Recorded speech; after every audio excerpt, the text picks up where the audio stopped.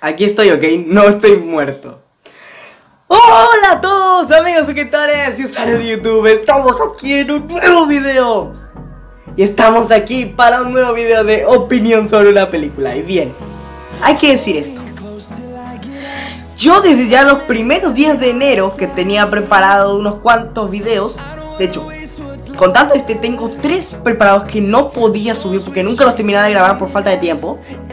Y es el día que estoy grabando, 18 de enero, y la película yo la fui a ver el 13. O sea que, imagínense lo que dejé de pasar. Pero en fin. ¿Qué película? A ver. Ya lo vieron en el título, pero lo voy a decir igual. Dragon Ball Super Broly. La película de Dragon Ball Super. Y como me hice lo mismo como Emian Rhapsody, tengo la entrada aquí. Al igual que básicamente unas cuantas fotos, una con el póster que le están viendo aquí. Y es exactamente esta misma remera la que llevé. Pero en fin, yo me llevé esto a la película. Que me lo compré en una convención de anime. Perfecto. En fin. Ahora vamos a proceder a... Bueno, de entrada, antes, me estaba por olvidar. Este video va a tener spoilers, así que si alguna persona no vio la película y no quiere que le arruine el final o la trama, le recomiendo mejor que salga el video porque este video va a tener spoilers y algunas escenas grabadas que yo grabé desde la película. Bueno, como ya se nos había anticipado, la película comenzaba con aproximadamente 30 minutos de un de una adaptación a esta película del manga de Dragon Ball Minus en donde se explica la historia de la ova de Bardock, pero de otra forma, como la hizo Akira Toriyama. Que en este caso es, por ejemplo, que Goku eh, no, no se fue de bebé, ni nada de eso, que sino que se fue con armadura. Y bueno, hay que decir esto. Hay una parte de la película que es donde básicamente muestran cuando se destruye el planeta Vegeta, donde es que el, que el Freezer carga su supernova y la tira. Yo cuando vi eso, le dije a Facundo Soma, que fue con él básicamente que fui a ver la película, le dije, no aparece, ¿viste? Algo así le había dicho. Y yo estaba como que así. Y de golpe aparece Bardock. Y yo como que... Me quería morir. Apareció por nada, con la armadura toda rota. Y si no me falla la vista, con la banda esta, que básicamente la ova de Bardock de Dragon Ball Z la simbolizan como la sangre de sus soldados, de sus camaradas, de sus amigos, como quieran decir. Después se, se, se en la historia de Broly, que en este caso tiene más un poco más de significado.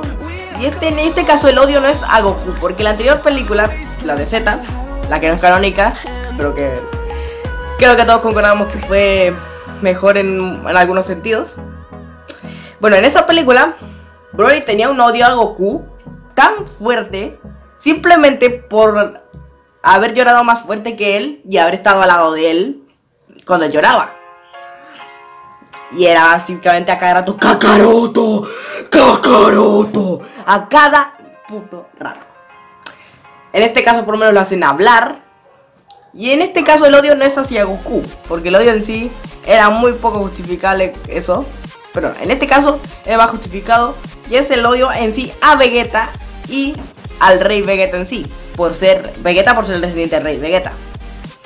Y es porque básicamente el rey Vegeta, en vez de matar a Broly aquí, en vez de matarlo a matar, lo destierra, lo manda a un planeta muy lejano donde no hay humanos y el clima es espantoso. Y en fin. Broly crece ahí y todo eso.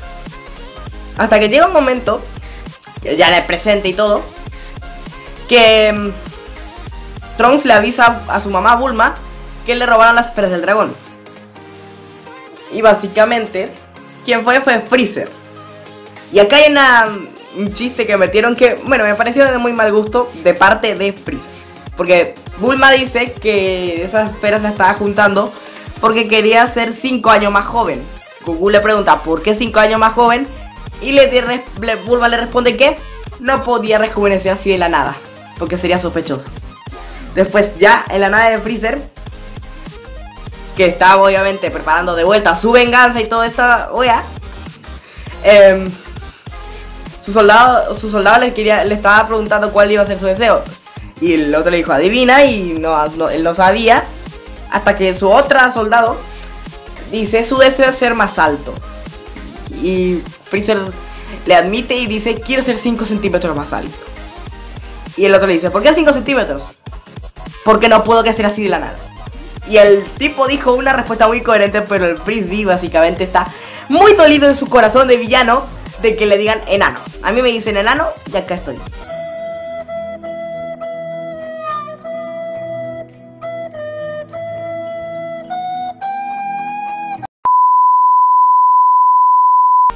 Y a ver, aquí mm, después se introduce al personaje este nuevo que se llama Chirai, la mujer esta de color verde, que le hicieron demasiados memes. Y así imágenes medio, medio subida de tono, pero más memes que, que otra cosa porque la personalidad de esta tipa es muy, muy, muy, muy, muy... Por eso se le llenaron de memes y eso. Más que nada por la parte, porque una parte, cuando ya lo reclutaron a Broly, estoy diciendo la historia salteada, para no estar diciendo todo detalladamente, pasó esto, pasó lo otro, no. Yo nunca voy a hacer eso, porque de, por sí nunca quiero decir todo tal cual como pasó, quiero decirlo así de, de manera improvisada, aunque se me trabe la lengua. Bueno, cuando ya lo reclutaron a Broly y todo eso, le preguntaron a Broly que por dónde está su armadura, porque en ese momento solamente tenía la parte de abajo de la armadura. Y le dijo Broly que le respondió que era incómodo para él. Y el otro le dice, pero si se estiran y básicamente lleva sus manos acá, pero es libre de no, usarla y vuelve acá. Aparte que en algunas escenas de la pelea, justo el enfoque a ella lo ponían de atrás, de espaldas. Ya se imaginan hacia dónde. Pero en fin. Y. Básicamente Freezer mandó a buscar a sus soldados la última esfera que era el continente de hielo. Llega un momento en el que llegan ellos, cuando le dicen que tienen todas las esferas, Freezer va con Broly y Paragas, pero ya habían llegado antes Goku y Vegeta, que Goku básicamente estaba con Vegeta intentando recuperar la última esfera. Llegan y ahí empiezan a puro charlar. Hasta que Paragas explica que se quiere vengar de Vegeta y Vegeta le dice que no es mi problema. Y es totalmente cierto porque culpa de él no es porque él no es como su padre, pero en fin. Forma parte del linaje del rey Vegeta, así que le tocó. Broly directamente se empieza a contener hasta que se lanza a por a por Vegeta. Que en toda la primera parte de la pelea el protagonismo fue totalmente de Vegeta que incluso se transformó en Dios. Rojo, por primera vez se vio eso en una película o una serie, en este caso, en el anime nunca se vio, pero en la película sí. Les juro, el diseño me encantó. Pero en fin. Em, hasta que llega un momento, después de un buen rato de pelea con Vegeta, en que Goku le dice que ya es momento de que pelee con él. Algo que se muestra aquí es que Broly no sabía la existencia del Super Saiyajin. Bueno, sabía la existencia, pero lo creía como una leyenda y no sabía transformarse. En fin. Llega un momento en el que Broly se empieza a descontrolar más y más y más y más y más. Hasta que se le, termina partiendo tanto Goku como a Vegeta. A los dos le tocó. Y pues. Cuando ya están destrozados ambos. Um, Goku se va con Vegeta al planeta de Piccolo. Bueno, al planeta no, al planeta. Al lugar donde estaba Piccolo, donde suele meditar. Y ahí le Goku le propone la fusión a Vegeta. Y aquí. Bueno, aquí en el momento cuando ellos se van al lugar donde está Piccolo, te cae la animación bastante. Hasta el punto de que Goku en un momento tenía solo tres dedos. Fue la única parte de la película que no me gustó y fue la única muy, muy, muy mal animada.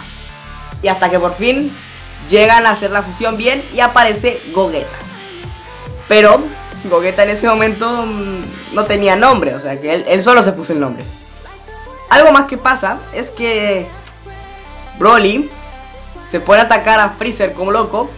Después de que básicamente si Broly se transformó en Super Saiyan porque ve a su padre muerto. Su padre básicamente murió porque Freezer le disparó en el corazón y lo mató. Lo, Freezer hizo esto para provocar básicamente que se transformara porque recordó que cuando hizo eso con Goku, él se transformó en Super Saiyan. Bueno, hizo lo mismo, Broly se transformó y bueno, eso me faltó decir antes de que se fuera, antes de que apareciera Gogeta. Cuando aparece Gogeta, se transforma primero en Super Saiyan, luego en Dios. Y bueno, este personaje, Chirai, lo que hace, como se da cuenta que Broly iba a ser destruido si no intervenía, y era obvio porque Gogeta ya estaba a nada ya de, de matarlo, y aparte con el destructor de almas, lo que hace es pedir que Broly vaya a su planeta, se, se, ha, transportado a su planeta. Y con eso se termina salvando de morir.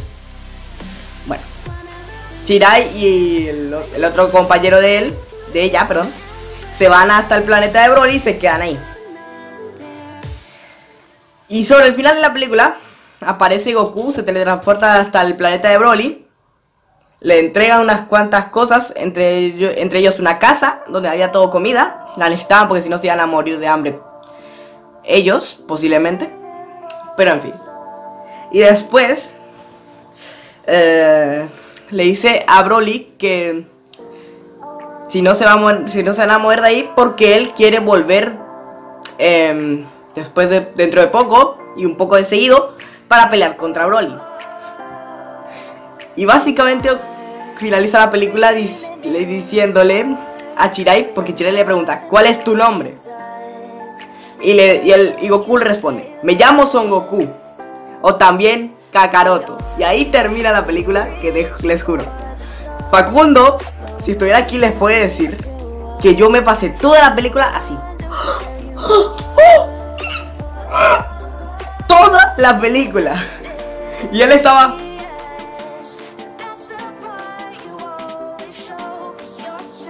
Nada más tenía los ojos bien abiertos, pero no tenía ni una sola expresión en su cara. Y tan, tan feliz se quedó que se llevó la coca que compró. Se la llevó a casa como souvenir, entre comillas. Porque el pendejo perdió la entrada. En fin. Mi opinión de la película. No, no creo que sea la mejor de toda la saga, pero fue buenísima. Valió la pena esperar cada maldito segundo para que aguantarme que me pudieran spoilear en diciembre cuando salió, pero en fin. ¿Cuánta puntuación le doy? 5. A pesar de que un momento hubo mala en la animación, le doy un 5 de 5. Y en fin. Espero que les haya gustado el primer video del 2019, entre comillas. Yo me despido y nos vemos la próxima. ¡Chao!